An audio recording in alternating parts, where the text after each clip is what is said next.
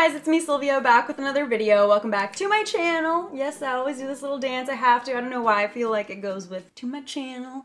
I don't know. Anyways, today's video is going to be testing out all NYX makeup. Now, I have tried NYX out before, a few products here and there, but I did try to pick a lot of the products that I have never tried before so you guys can get my thoughts. This video has been highly requested. You guys want to know what I think of NYX, and I'm about to tell you. So I did my full face using this one brand. There were some products that were misses for me. If you want to stick around for that, you know, find out what not to buy from the brand, then just stay tuned, or if you just want to figure out how to do this makeup look then I'll let you know as well. Now, if you don't know, NYX is a pretty affordable drugstore makeup brand, widely accessible, pretty popular, but I wouldn't say that they're like the most affordable drugstore brand, you know, I feel like they have some products that can be a little pricey too, but for the most part, they're pretty affordable. Now, before we get started, if you're not subscribed yet to my channel, make sure you subscribe. I drop two videos a week and you don't want to miss out. And if you missed it, last video I announced that I will be shouting one of you guys out in my videos from now on. All you have to do is be very active in my socials and you'll have a higher chance of being featured in my videos video and make sure you watch the video the whole way through to make sure you're not missing out on who is getting shouted out because it could be you. And without further ado, let's get started with the video. So I'm gonna start out with my eye makeup today first.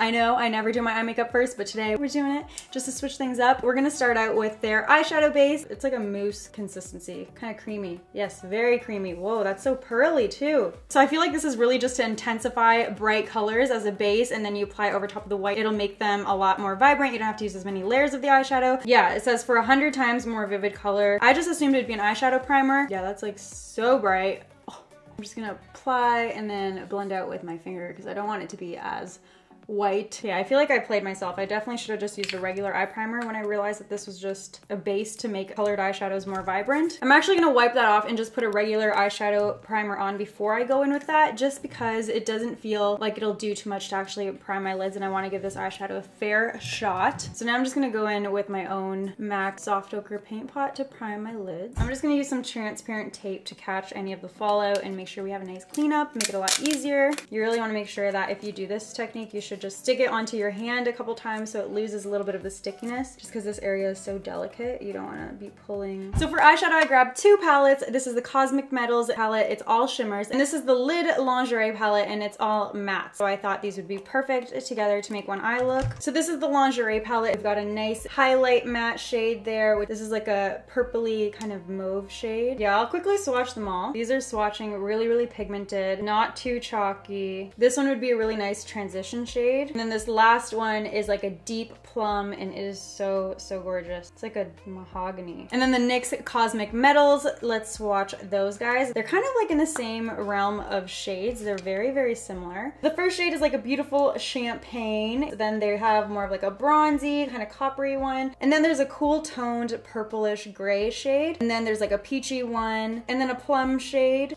And of course the gold so I'm going to start out with this shade right here just to highlight my brow bone. I will say from the swatches though, this is the shade that kind of was the most underwhelming. You just have to give it a couple layers. I don't think it's bright enough to highlight too much, but I think it would be really nice just to set the primer as well.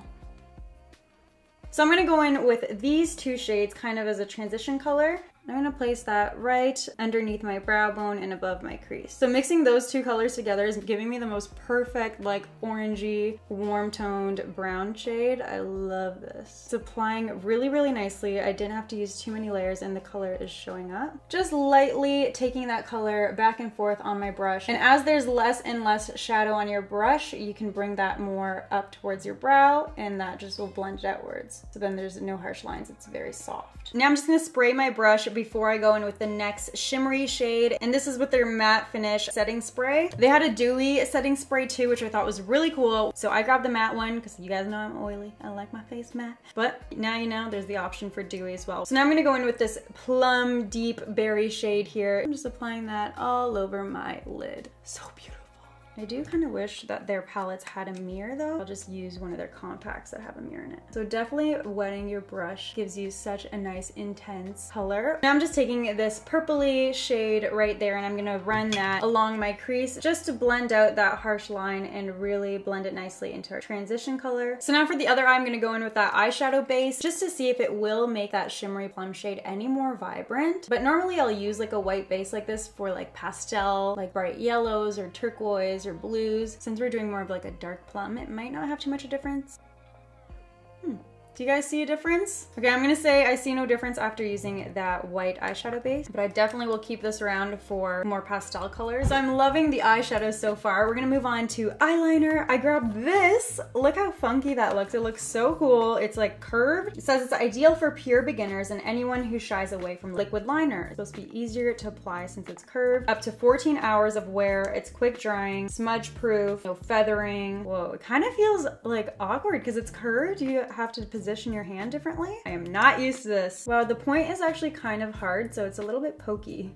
Maybe I have to shake it, but the product is kind of struggling to get to the tip. It is a super jet black. I really like that. But the applicator, I don't know if I'm feeling it. The tip is very, very long. It's very hard. It doesn't really move. So it's hard to get it to go along the curves of your eye. I just have to say this is a miss for me. That's okay. There's hits and misses with all brands. That's why I do these one brand tutorial testing out type of videos. Yeah, it was just difficult to use. I just wish the liquid would come all the way to the tip of it and I wish the tip was a little bit more flexible. So I grabbed one of their jumbo eye pencils to test out. This is in the shade Oyster. This is it swatched. It's like a cream consistency. I don't think you can twist it and maybe you can sharpen it, but I'm not too sure about that. So that could be an issue down the road since it's a cream. It'll definitely get duller. Ooh, but that is so beautiful. This gives you like an instant highlight. That is so beautiful and so blinding and it took like two seconds to do. This would be really beautiful to use as a cream eyeshadow as well, but I love this particular color as just an inner corner highlight. So this is a hit.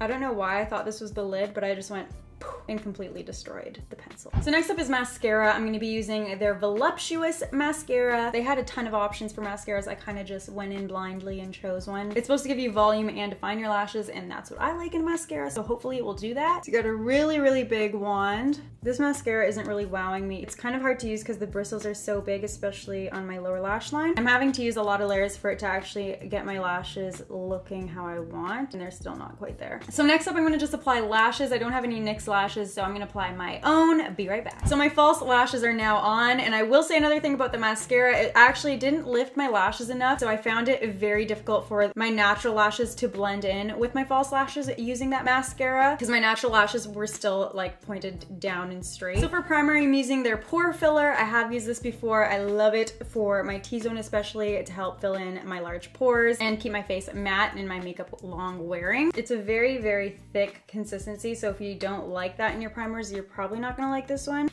But if you like like an immediate matte look to your skin, this does that. And if you have a lot of texture, it's gonna help to fill that in and to just make it look a little bit smoother and give you a smoother base for your foundation. Now for foundation, I have never tried their Stay Matte Not Flat foundation, but I like the sound of it, so we're gonna try it out today. Definitely in an in-between shade between ivory and nude. So I'm gonna mix those shades and try to get my color. It's covering up all of my acne very easily. It's super full coverage. I don't even think I'll have to go in with a second layer in any of my problem areas areas. But if you like something less heavy, then it's probably not gonna be for you. It is matte, but you can see it still has a very natural kind of shine to it, which I really, really like. Next up, I got one of their color correctors. It is in the shade Light. This light peach shade should be perfect to conceal that like deep purpley brown discoloration on my under eyes. It's like a very thin consistency, so it's very easy to blend. I really like the feel of that. It's so lightweight, I like don't even feel it on my under eye. So it should be okay getting covered up by the concealer. Sometimes when color correctors are too thick, you can can't cover them up for the life of you. For concealer, I got their HD Studio Photogenic Concealer. It's got a doe foot applicator, which I like. Very easy to apply. Concealers usually have a doe foot applicator though. It doesn't really say on it if it's full coverage or anything like that, so I guess we'll find out. I'm just gonna blend that out with my Beauty Blender. I'm putting on a second layer because for me it was a little bit too lightweight and it looks like it is buildable because that definitely added a little bit more coverage. I really like that concealer. It kind of reminds me of Too Faced's Born This Way concealer. Now I'm gonna finish up my under eye before we do anything anything else with my face makeup. I'm gonna go ahead with that shade we use as a transition, mixing these two colors. We're just gonna bring down the smokiness in the same order we did it on our upper lid. Now I'm taking this deep matte plum shade and I'm gonna put that right close to my lower lash line and smoke it out into that other shade. So now my eyes are completely done. Let's move on to my brows. I'm gonna use their three-in-one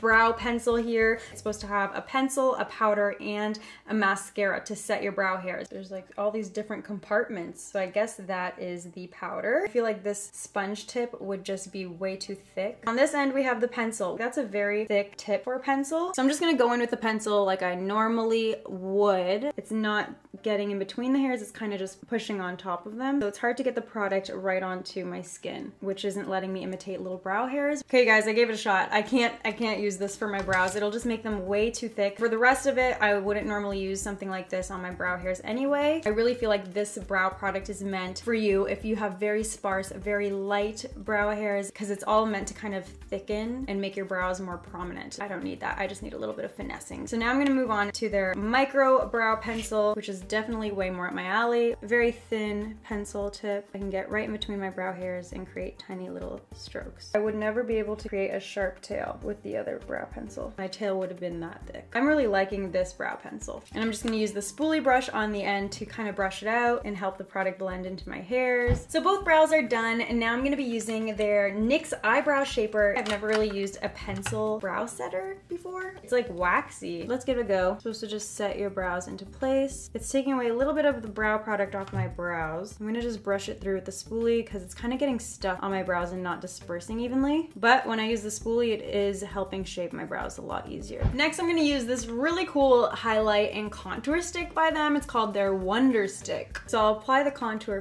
first. It's a very gray kind of contour, so I'm a little worried. You do want a certain amount of ashiness to your contour, just not too much because then it looks like dirt. And now let's place the highlight. I really like the shape of this. I'm gonna place this on my under eye. This is in the shade light medium, by the way. So hopefully this helps to brighten my under eye because my concealer was pretty much the same shade as my foundation. I'm gonna actually use the KKW Beauty brush because I actually really like this brush. It does such a good job, like so quickly too. It is just a little bit too gray for me, but it is very easy to blend out. For the highlight, I'm just gonna use my Beauty Blender. And the cream is very lightweight that if you do make a mistake or you add too much like I kind of did in the contour, you can just blend it out. So final verdict on this product, I actually really like the highlight part of it and it's very easy to apply, easy to blend out, great formula. I just, my personal preference would be for it to be just a little bit of a warmer contour. But I can just adjust the contour a little bit by adding some bronzer and warming it up a bit and then it'd be perfect for me. So next up, we're gonna apply blush. I'm using their shade Amber. They had a lot of different colors for blushes. Didn't have to apply too much to get that that color payoff there. Now I'm just gonna try and blend it because I don't want too much. It's really pretty though.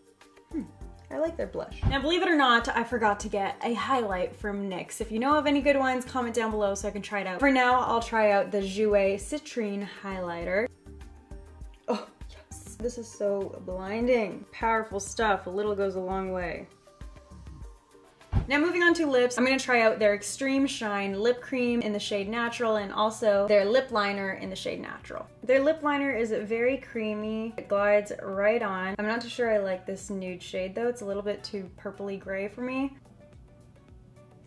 Oh yeah, look at that pigment. This is a beautiful nude too. Kind of smells like crayons. I really like their Extreme Shine Lip Cream. It's so shiny and very pigmented. I love this shade. This alone is kind of too purple, but together I like it. I'm gonna finish up with their matte finish setting spray.